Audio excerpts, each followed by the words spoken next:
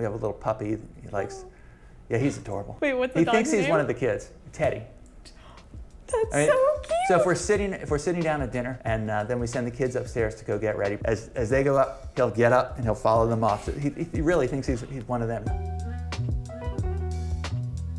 Hi, and welcome to another episode of Tea with Teachers. I'm your host, Talia Khan, and I'm here today with Professor Bill Minicozzi. Uh, it's great to be here. Thanks very much. So I've heard that you really like basketball. I do. I love to play basketball. Something I've been doing for a very long time. Every year I do it a little bit worse. but I, I really enjoy the camaraderie of the games, you know, getting out there and just playing hard. It's one of the few things that can take your mind off of something. But if I get on the basketball court and there's somebody in my face and I'm trying to, to win and they're trying to win, then, then there's no time to think about whatever's bothering you. You just have to think about the game. So correct me if I'm wrong, but I believe you met your wife when you were an undergrad at Princeton. Yeah, my wife and I met our, my first semester of college That's back so in uh, cute. Yeah, 1986. Yeah, warn your parents to be nice to whoever you bring home. How old are your kids again? Are they? Are you training them all to be little math geniuses as well, or? They all they all love math.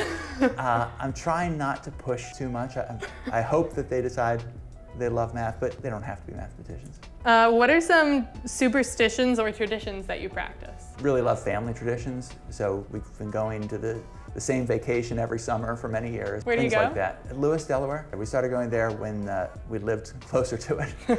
Yeah. And we keep going because uh, the water's warm, Aw. unlike the Cape. What would your perfect party look like? Kids, lots and lots of my family, a lot of outdoor activities, pizza and ice cream.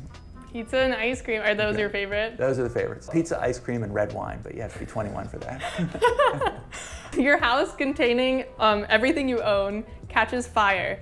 What do you grab? Uh, well, I'm assuming that the family and The family, and, every- and, and the everybody's dog are fine, out. yes. okay. Then I'm grabbing my hard drives. Your hard, okay. hard drives and then family pictures. If you could pass on any piece of wisdom to your students, what would it be and why? This is specifically to the students in the GIRs. If you're sitting in a class with hundreds, maybe 500 other students, it can be really easy, even in that sea of people, to feel kind of isolated. You know, there are really a lot of people going through the same things and the same feelings that you are. Really, you should feel comfortable with that. You should feel comfortable with how you're doing. You should reach out and talk to your professors. You know, as long as they work hard and, and are organized, they can all be very successful.